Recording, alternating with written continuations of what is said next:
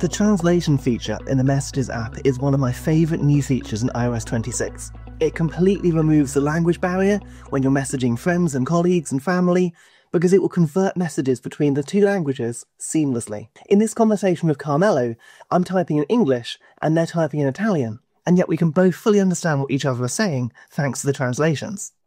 You can see here that as Carmelo replies, the writing at the top is in Italian and the writing underneath is in English. I can then reply in English and the message will get translated to Italian on their phone.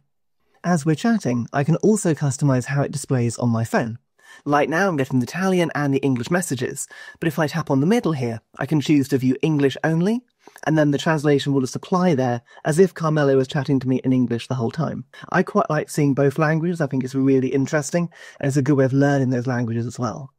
And this setting will work either automatically if messages can detect a language that's supported but isn't your native language, or you can tap onto the contact picture at the top of the screen and turn on auto translate.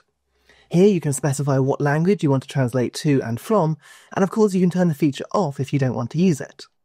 Now I've re-enabled that feature, as I'm typing in the messages box, you can see it translating in real time what I'm saying in English to what they're going to see in Italian. And what's great is it also works in your group chats. It hasn't got to be just a one-on-one conversation.